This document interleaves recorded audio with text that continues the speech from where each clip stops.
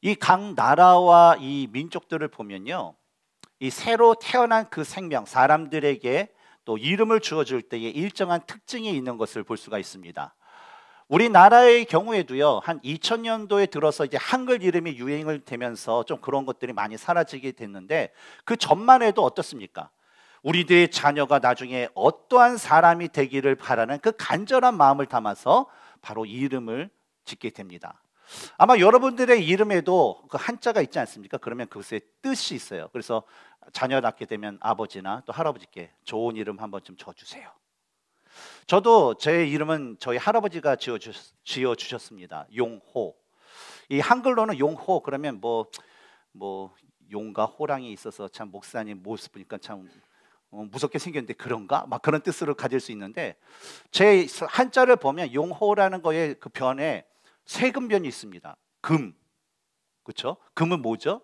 빛나다라는 거예요. 그래서 한자를 보면 제 한자는 빛날용, 빛날 호자를 씁니다. 그래서 뭐 농담 삼아서 머리가 빛날지 뭐 이름이 빛날지 뭐가 몸매가 빛날지 뭐 알 수 없지만 뭐 한평한 뭐 할아버지가 빛나라라고 한번 지어 주신 것 같아요. 근데 제 성씨를 보면 제가 이제 거, 어, 거창에 이제 저희가 저기 종갓집인데 거창 신씨입니다. 근데 거창 신씨는 함자가 삼가의 신자를 써요.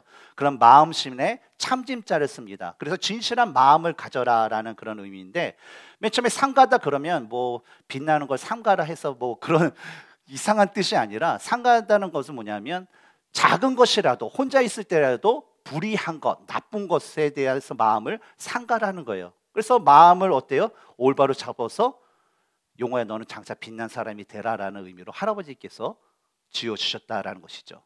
우리 김도 13년은 어떤 뜻입니까? 예.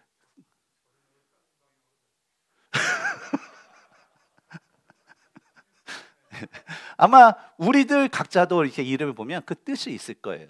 근데 제가 지금까지 살아오면서 사람들에게 이름을 지어주는 것을 이렇게 보다가 가장 인상적인 그런 한 가지가 있었습니다.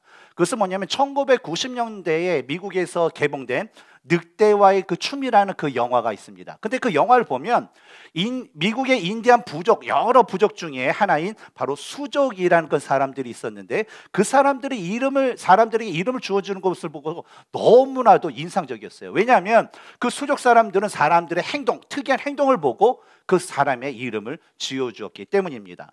그래서 이 영화에 나오는 수족에 관련된 사람들의 이름들을 몇 가지 말씀해 드리면 주인공 주인공인데 그 사람의 이름은 늑대와의 춤입니다. 이름이. 왜냐하면 막 늑대가 자기 물건을 가져가서 그걸 뺏으려고 따라가고 또 늑대가 덤비니까 도망가고 하는 그 모습을 보고 인디안들이 보면서 어 저 사람 춤추네 늑대와 댄스를 추네 그래서 어 댄스 우 그래서 늑대와의 춤이라는 이름을 줬어요. 그리고 이제 수족이 어떻게 들어갔는데 거기 있던 어떤 백인 주인공이 아내가 된 그 여인의 이름은 주먹쥐고 일어서 하도 그 인디안 부족의 어떤 여인이 괴롭히니까 화가 나가지고 주먹을 쥐고 불끈 일어서 한 대를 딱 쳤나 봐요. 그랬더니 너는 지금부터 주먹 쥐고 일어서. 그리고 추장의 이름은 뭘, 뭔지 기억하십니까? 발로 차는 새. 뭐 새를 발로 찾는지 하여튼 발로 차는 새. 또 어떤 사람은 머릿속에 바람 등등 다양한 그런 이름을 가지고 있었습니다. 근데 이런 영화를 본 후에 저희 집에 이 영화에서나 나올 수 있는 비슷한 그런 일이 저희 가정에도 벌어지게 되었습니다. 이 영화를 아내와 이렇게, 봐, 이렇게, 이렇게 볼 때는 저희 첫째, 지금 이제 시니어가 됐는데 이 애가 돌이 같이 났을 때였어요. 그런데 돌이 됐는데도 불구하고 13개월이 됐는데도 불구하고 얘가 걷지를 못하고 계속 기어다니는 거예요. 그래서 이 첫 애를 가졌을 때 그 부모의 그 심정 있지 않습니까? 아, 얘가 다리가 무슨 문제가 있나? 성장에 무슨 문제가 있나? 그러면서 온갖 잡생각이 막 있어요. 그러던 가운데 어느 날 이 코스코에서 이 장을 보고 나서 그 박스에다 담아서 온 다음에 그것을 풀기 시작했습니다. 그런데 갑자기 아이가 저쪽에서 그 박스 가지고 이렇게 탁 놀더니 갑자기 그 박스 빈 박스를 딱 들고서 일어나가서 아빠 하면서 해맑게 웃으면서 저에게 보는 거였어요. 그래서 저는 아내와 함께 그 첫 걸음을 걷는 아이의 그 모습이 너무나도 기뻐서 아이에게 농담처럼 지어진 인디언식의 이름이 있었는데 바로 박스 들고 일어섭니다.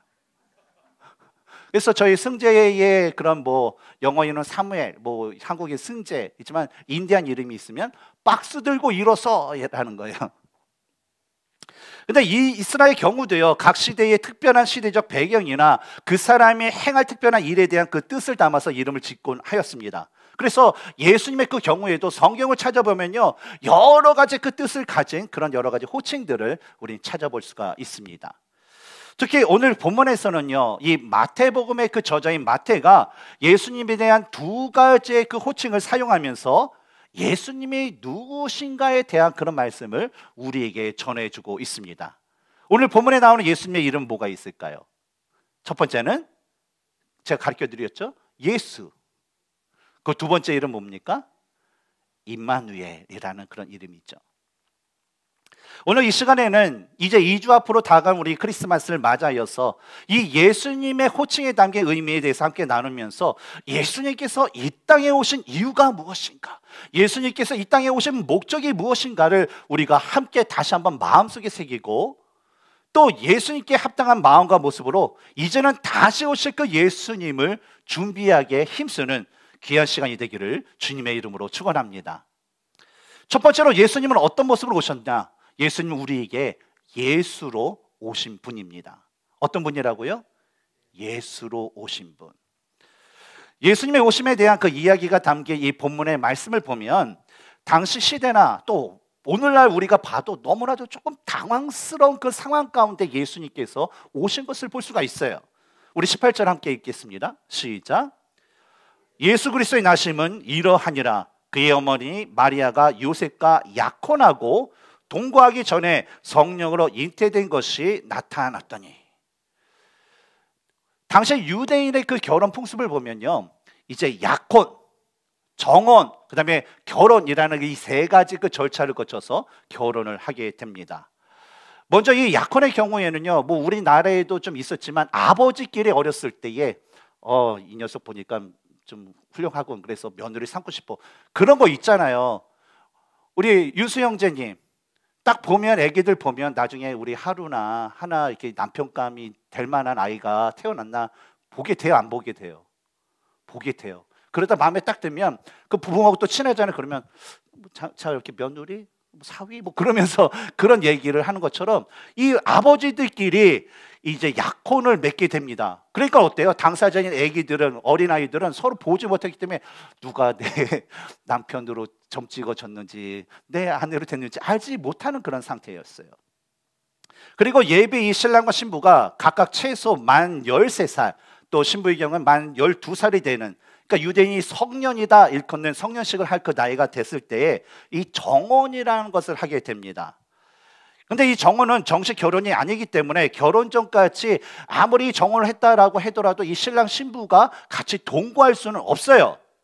하지만 이때서부터는 사회적으로 유대 사회에서는 아 정식 결혼한 부부 비슷한 그런 식으로 간주가 돼요. 그래서 어, 남편 된 사람은 나의 남편, 아내, 뭐 honey, oh my baby 뭐 하면서 자기의 그 아내 남편에 대한 그 호칭을 정식적으로 사용할 수가 있어요. 그래서 정혼을 맺기 전에는 뭐 아버지끼리 서로 싸워서 아 파괴 파괴할 수 있지만 정혼을 하게 되면 뭐 아내나 남편이 어떤 음란의 죄, 간음의 죄를 짓기 그런 죄를 짓기 전까지는 이것을 파괴할 수 없게 되어 있습니다. 그리고 정원한 후에 1년 또는 1년 이상 이 신랑은요 신부를 데리고 올 그 준비를 하게 돼요. 그래서 뭐 집도 짓고 돈도 모으고 또 부인을 데리고 올 때에 그 장의를 이렇게 뭐 지참금도 이렇게 준비하고 하여튼 결혼 준비를 열심히 합니다. 그래서 준비가 딱 되어서 결혼할 때가 되면 신랑은 자기 집에 이제 잔치 이 시, 결혼 잔치 그 준비를 한 후에 자신의 친구 몇 명을 데리고 이 신부의 집으로 방문하게 됩니다. 근데 문제는 뭐 오늘날 같이 뭐 전화나 뭐 이메일이나 그런 거 있으면 언제 올지 다 알겠는데 그때 당시엔 그게 없었어요. 언제 올지 몰라요. 밤에 올지, 낮에 올지, 새벽에 올지. 그래서 이 신부 측에는 뭘 했냐면 신부의 친구들, 들러리 하는 그 친구들이 이 신랑과 신랑의 그 친구들을 맞아야 됐어요. 근데 언제 올지 모르기 때문에 항상 그들이 필요한 것은 등, 밤에 맞을 등. 그리고 언제 올지 모르니까 여분의 기름을 준비했다라는 것이죠. 그래서 이, 이것이 어때요? 이런 이야기가 우리가 성경 가운데 나오는 슬기로운 처녀들, 또 미련한 처녀들의 그런 예화를 사용했던 대목이 바로 이 대목입니다.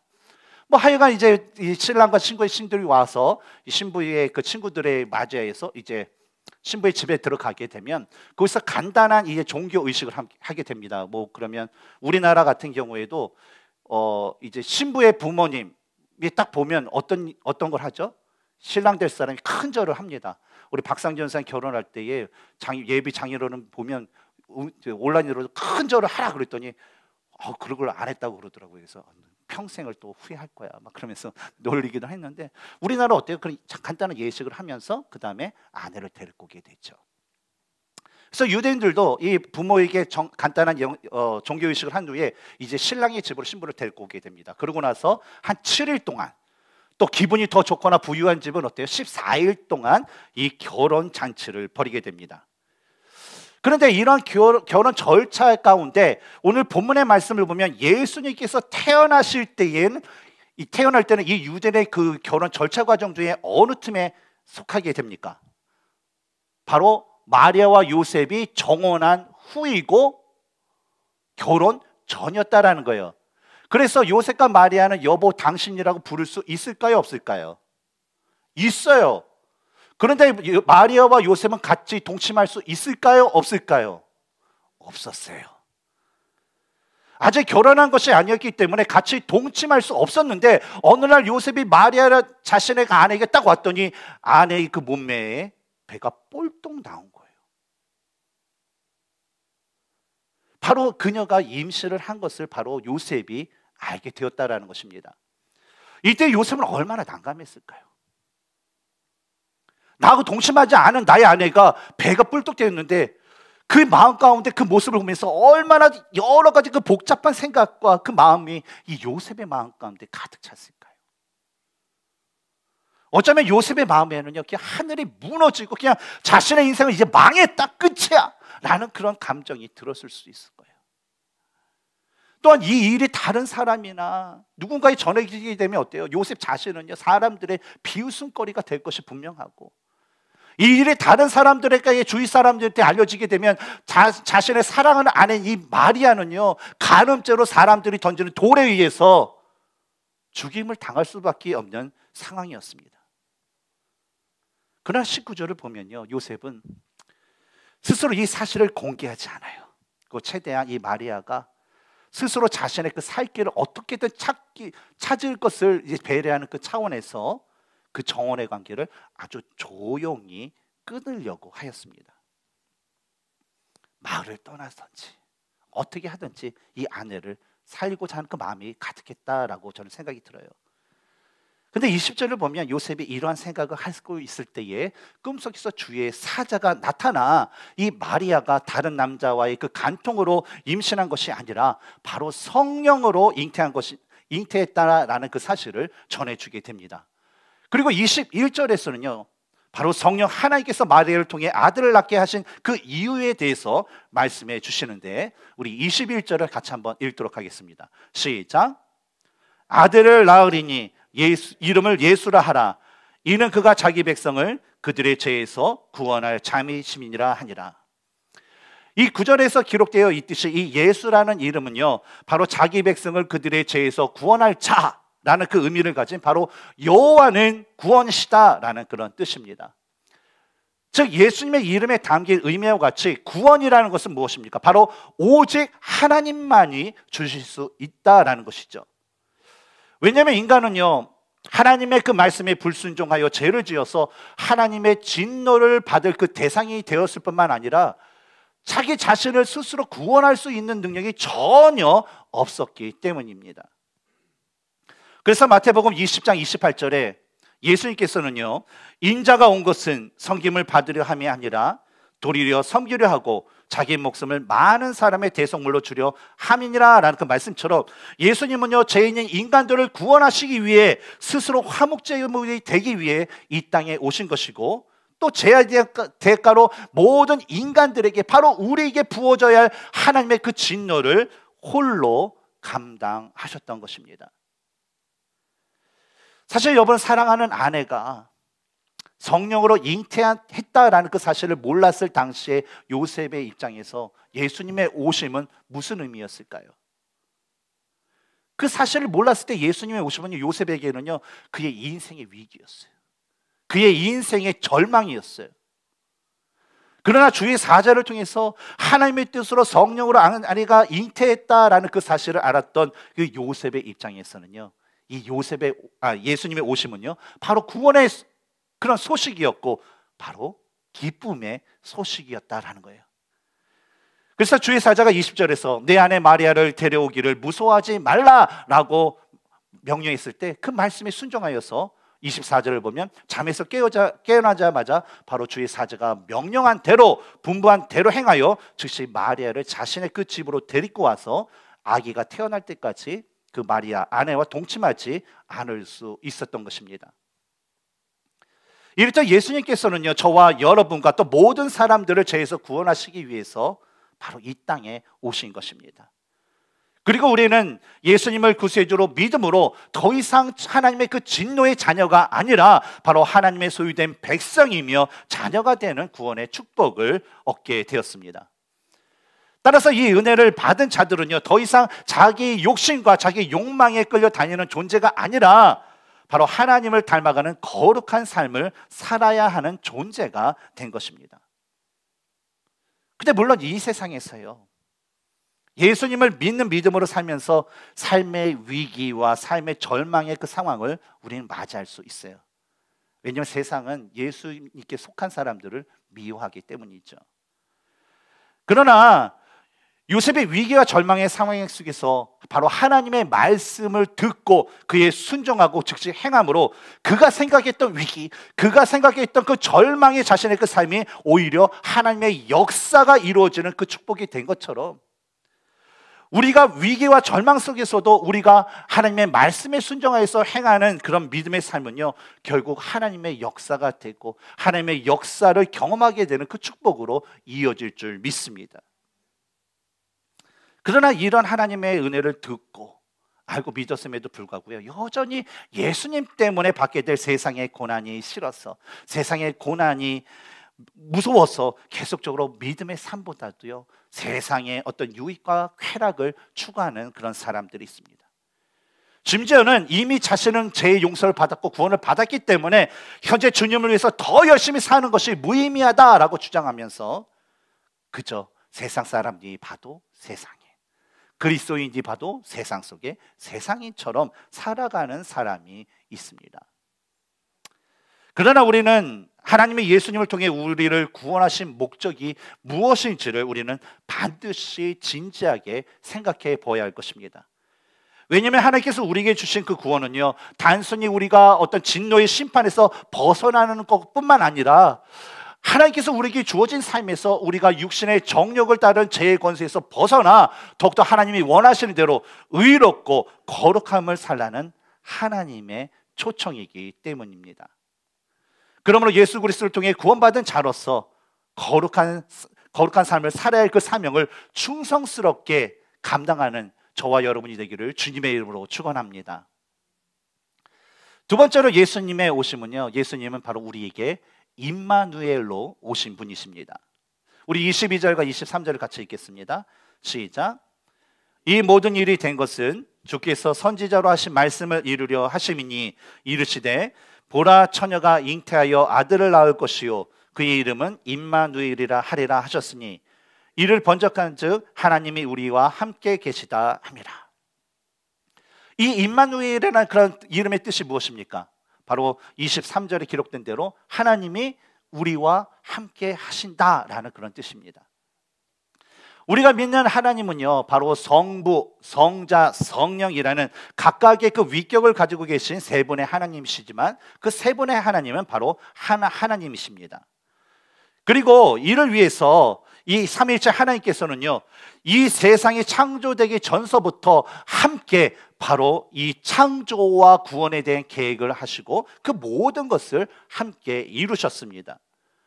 그리고 그 과정 가운데 이를 위해서 예수님께서는 하나님으로서 얻어야 할 모든 그 하늘의 영광을 버리고 성자 예수님께서는 우리와 같은 인간의 모습으로 이 땅 가운데 오셨어요.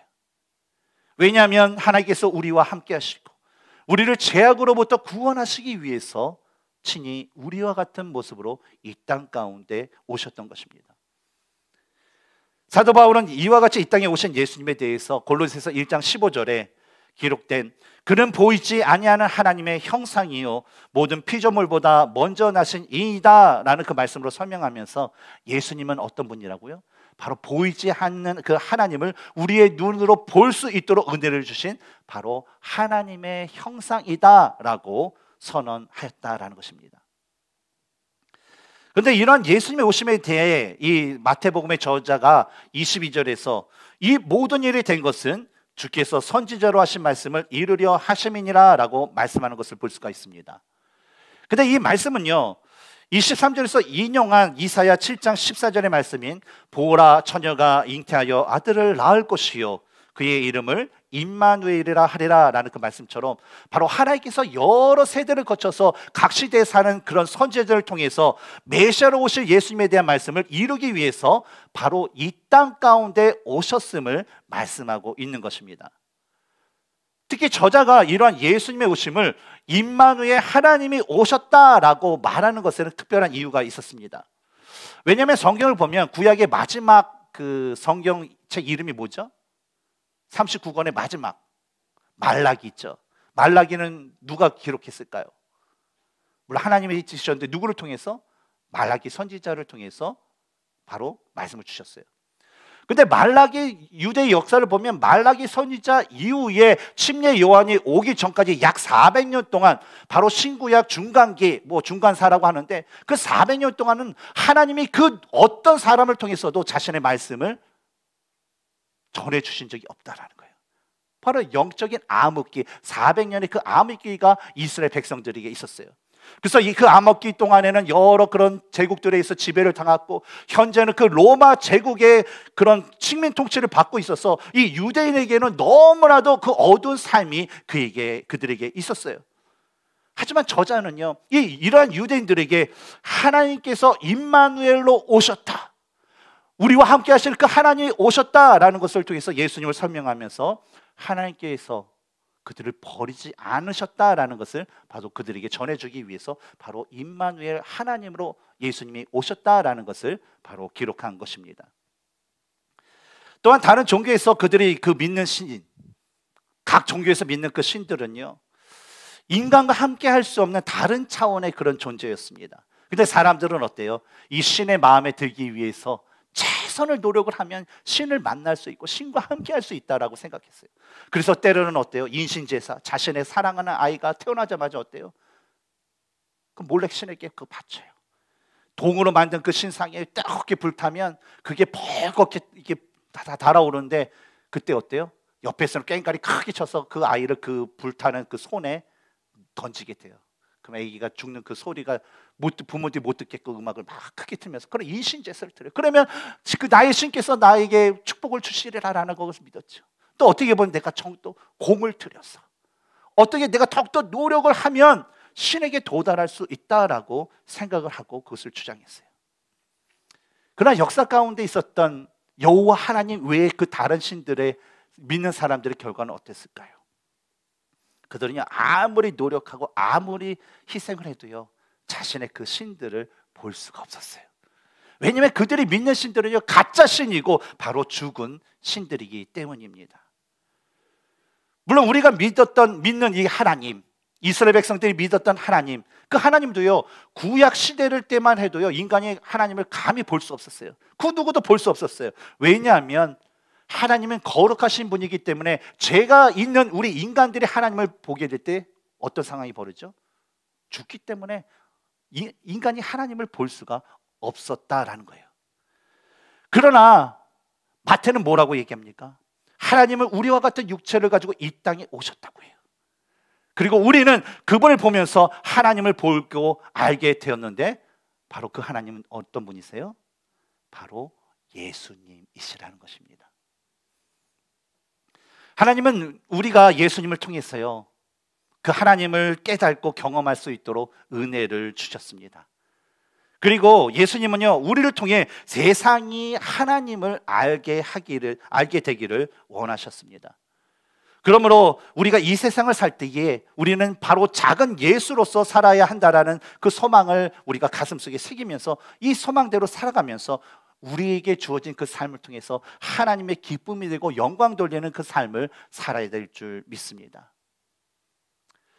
오늘 우리는요, 이처럼 예수님께서 우리, 제, 우리를 죄로부터 구원하시기 위해서 구원의 주 예수님으로 이 땅에 오셨고, 또 우리, 와 또한 우리와 함께 하시기 위해서 임마누엘 하나님으로 이 땅에 오셨다라는 것을 우리는 함께 나눴습니다. 앞으로 얼마 남지 않은 그 성탄절을 맞이하면서 여러분 이런 예수님의 그 오심에 대해서 더욱더 감사하는 그런 마음을 품으시기 바랍니다. 그리고 이제는 앞으로 다시 오실 예수님을 우리가 기다리면서 예수님께서 원하시는 것이 무엇인가?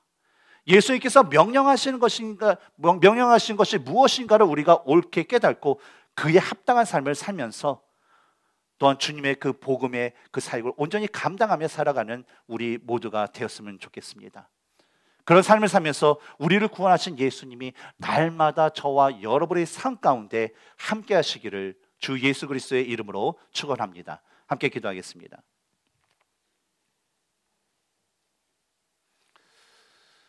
우리가 믿는